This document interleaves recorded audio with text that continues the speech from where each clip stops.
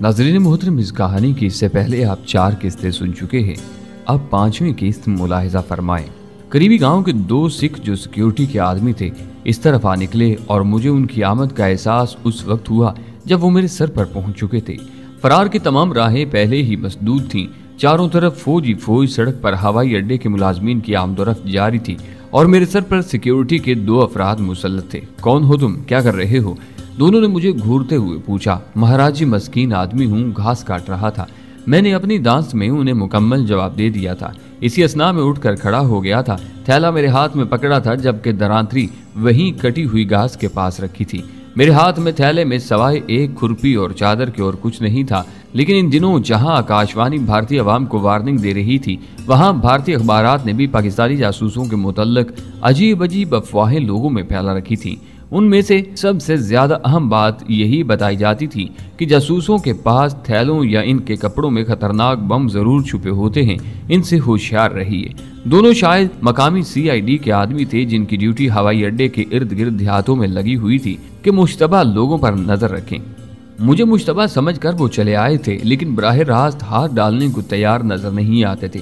بھارتی ریڈیو اور اخبارات کا پروپوگنڈا میرے کام آ گیا۔ کہاں رہتے ہو؟ ایک نے پولیس کے مخصوص لہجے میں پوچھا، تلونڈی مہاراج جی چل بھاگ یہاں سے، گھاس کاٹنے کی اجازت نہیں۔ دوسرے نے مجھے ہاتھ میں پکڑے، ڈنڈے سے آگے کی سمت اشارہ کرتے ہوئے کہا، جیسے مرضی آپ کی مہاراج جی۔ میں نے نیچ جاتی کے لوگوں کی طرح ہاتھ باندھتے ہوئے کہا اور آگے بڑھ گیا۔ ٹھہرو۔ اچانک پیچھے سے آواز سنائی دی۔ ایک لمحے کے لیے تو مجھے اپنا دل سینے سے نکلتا ہوا محسوس ہوا۔ مجھے امید تھی جب دوسری سمت پلٹوں گا تو ان کے ہاتھوں میں پکڑے پستول میرے استقبال کو موجود ہوں گے، لیکن خیریت گزری، انہوں نے شاید کوئی اور ہی منصوبہ سوچ رکھا تھا۔ یہاں بس نہیں رکتی، پیچھے بیٹھ جاؤ۔ وہ سامنے سٹاپ ہے، وہاں سے سوار ہو جانا۔ اس نے اپنی سائیکل کے پیچھے بیٹھنے کا حکم دیتے ہوئے تھوڑے فاصلے پر واقعہ گارڈ روم کی طرف اشارہ کیا تھا۔ اس طرح غالباً ان کا ارادہ یہ تھا کہ وہ کوئی خطرہ مول لیے بغیر مجھے گارڈ روم پر ایئر فورس پولیس کی خدمت میں پیش کر دیں گے۔ یہاں سے اچانک بھاگنا زبردست بے وقوفی ہوتی، میں نے بادل نخواستہ ہتھیار ڈالتے ہوئے حامی بھر لی۔ اس طرح کم از کم گارڈ روم تک مجھے کوئی ایسا موقع مل سکتا تھا جس سے میں فائدہ اٹھا لیتا۔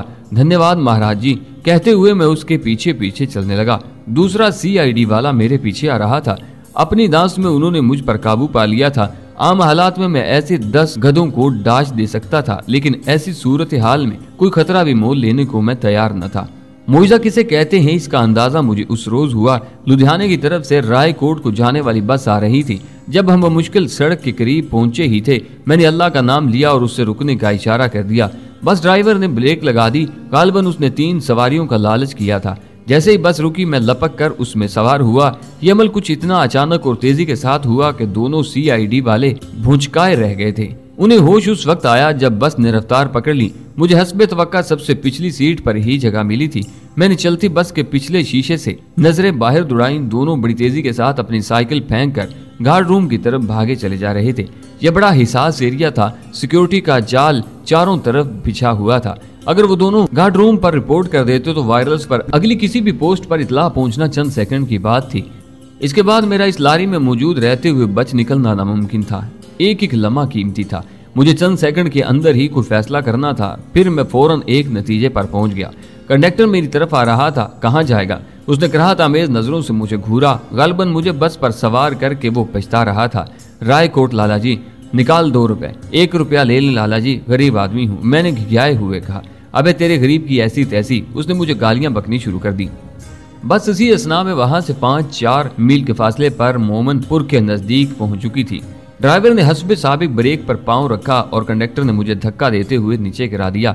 میں مشکل سنبھل پایا، غصے کے مارے میرا خون کھول اٹھا، لیکن دوسرے علم میں مجھے اپنی حیثیت کا احساس ہو گیا۔ میں بھارت کا ایک نیچ اچھوت تھا، جس کے لیے ہندو معاشرے میں کوئی جگہ رہی سب کچھ میری توقع کے عین مطابق ہوا تھا۔ میں فوراً سڑک کے دوسرے کنارے پہنچا۔ بمشکل دو منٹ ہی گزرے تھے، جب میں نے جیپ کو انتہائی تیز رفتاری سے اس بس کے تعقب میں جاتے دیکھا۔ میں بڑی پھرتی سے، بڑے سے درخت کی آؤٹ میں چھپ گیا تھا۔ دونوں میں سے ایک گدا بھی جیپ میں ڈرائیور کے ساتھ بیٹھا تھا اور پچھلی نشست پر ایئر فورس پولیس کے مسلح جوانوں نے قبضہ جما رکھا تھا۔ جیپ کے گزرتے ہی ایک بس آتی دکھائی دی اور چند منٹ کے بعد میں لدھیانہ کی طرف واپس آزم سفر تھا۔ اس مصیبت کے ٹل جانے پر دل ہی دل میں شکر بجا لایا۔ بلواڑا سے کافی دور ایک سٹاپ پر میں اتر گیا۔ یہاں سے ایک ٹیمپو کے ذریعے میں ایک دوسرے علاقے کی طرف جا نکلا۔ یہ ایک چھوٹا سا قصبہ تھا لیکن میرے لیے بہت بڑا اور مضبوط قلعہ تھا۔ اب کم از کم میری حالت اس قابل ضرور تھی کہ بھارتی سیکولر معاشرے میں مجھے بس کی سیٹ پر بیٹھنے کی اجازت مل جاتی۔ شام کو تھکا ہارا لدھیانہ پہنچا، اپنے مخصوص مقام پر کپڑے بدل کر سیدھا پرکاش کے پاس چلا گیا۔ رات کو ہم دونوں اکٹھے ہوٹل پہنچے، پرکاش میرا بہترین کور تھا اور ایسے غیر یقینی حالات میں جبکہ قدم قدم پر خطرات منہ کھولے کھڑے تھے، اس کی مدد حاصل کرنا اور بھی ضروری ہو گیا تھا۔ میں نے پرکاش سے بڑے گہرے تعلقات استفار کر لیے تھے اور چند دنوں کی دوستی میں ہی وہ مرحلہ آ گیا تھا جب پرکاش میری غیر موجودگی کو محسوس کرنے لگتا۔ میرے ذہن نے پرکاش کے متعلق ایک شاندار منصوبہ ترتیب دے لیا تھا اور اب میں اسی پر عمل کرنے جا رہا تھا۔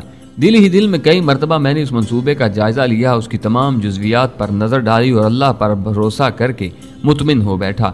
اپنے منصوبے پر کام کا آغاز تو میں نے اس سے ملاقات کے ساتھ ہی کر دیا تھا، لیکن اصل مرحلہ اب آیا تھا۔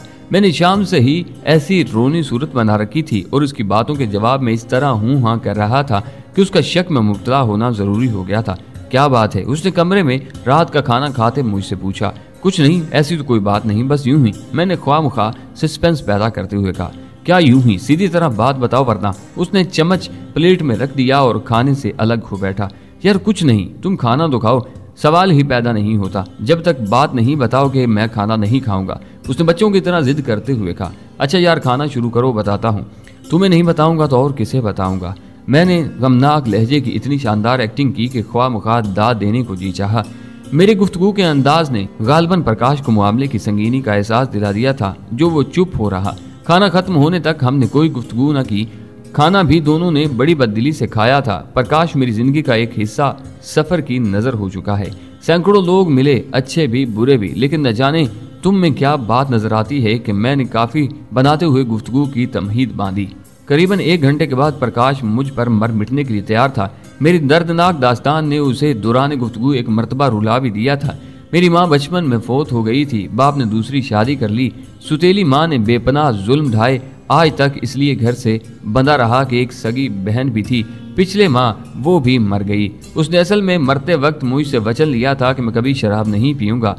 اب میرا باپ کے گھر میں کیا ہے؟ وغیرہ وغیرہ۔ اس کہانی کا پرکاش کے لیے سب سے بہترین حصہ میری دانست میں وہ تھا جہاں اس کے علم میں یہ بات آئی تھی کہ میں نے چوری چھپے پچیس تیس ہزار روپیہ اس وقت برے وقت کے لیے جمع کر رکھا تھا اور اب میں چاہتا ہوں کہ کسی فیملی کا رکن بن کر لدھیانہ میں کوئی چھوٹا موٹا سا کاروبار شروع کر دوں اور میری نظر انتخاب اس پر ٹھہری ہے۔ برے بھلے لوگ ہر معاشرے میں موجود ہوتے ہیں۔ میں آج بھی جب ماضی پر نظر دوڑاتا ہوں، پرکاش کے رویے میں مجھے لالچ کی جھلک نہیں نظر آتی۔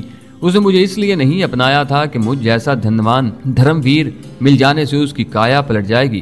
کسی حد تک ممکن ہے اس فیصلے کے پیچھے یہ جذبہ بھی کار فرما ہو، لیکن انسانی ہمدردی کے جراثیم اس میں کچھ زیادہ ہی پائے جاتے تھے۔ پرکاش، میرا اور کوئی بھائی نہیں ہے۔ بھگوان نے مجھے بھائی دے دیا۔ وہ شدت جذبات سے بے قابو ہو کر مجھ سے بغل گیر ہو گیا۔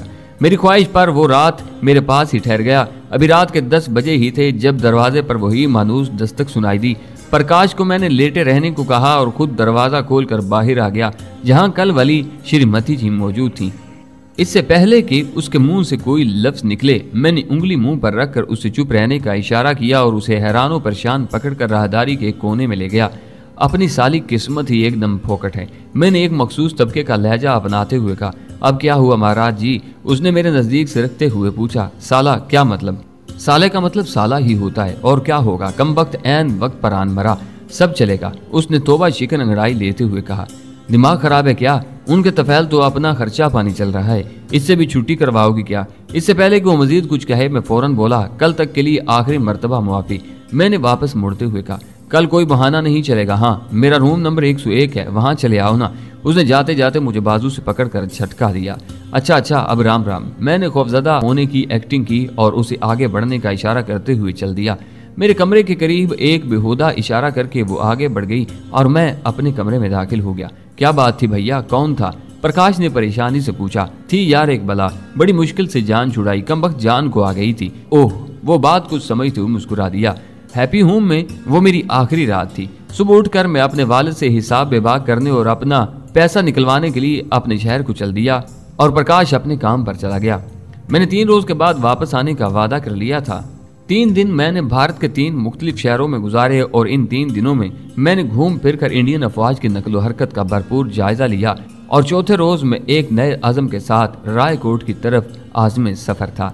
وہ ہفتے کا روز تھا جب میں رائے کوٹ کے ایک محلے میں پرکاش کے چھوٹے سے گھر کے باہر لگی گھنٹی کا بٹن دبا کر کسی کی آمد کا منتظر تھا۔ مجھے علم تھا کہ پرکاش اس وقت گھر پر نہیں ہوگا اور رات گئے وہ لدھیانہ سے آئے گا۔ اسے میری آمد کی خبر تو تھی لیکن اتنی جلدی میرے آنے کا علم نہیں تھا۔ میں دانستہ ایسے وقت آیا تھا تاکہ پرکاش کی غیر موجودگی میں اس کے گھر والوں کے اپنے بارے قائم کردہ تاثرات کا میں خود اندازہ کر سکوں۔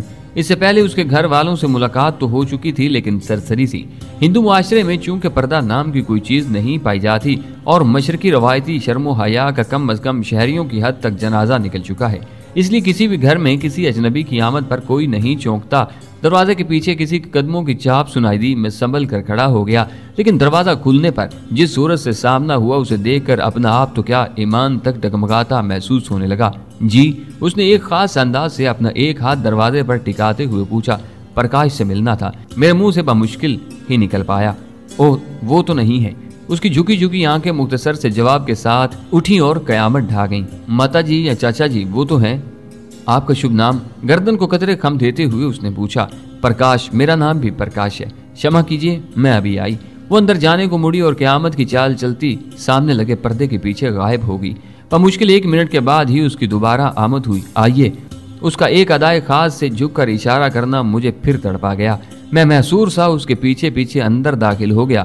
گھر میں پرکاش کی ماں اکیلی ہی موجود تھی۔ پاؤں لاگو ماتا جی میں نے ہندوانہ طریقے کے مطابق جھکتے ہوئے انہیں پرنام کیا۔ جھک جھک جیو۔ ماتا جی نے مجھے ایسے پیار سے دیکھا جیسے وہ پہلے سے میری منتظر ہوں۔ پونم، جل پانی کروا دو میرے بچے کو۔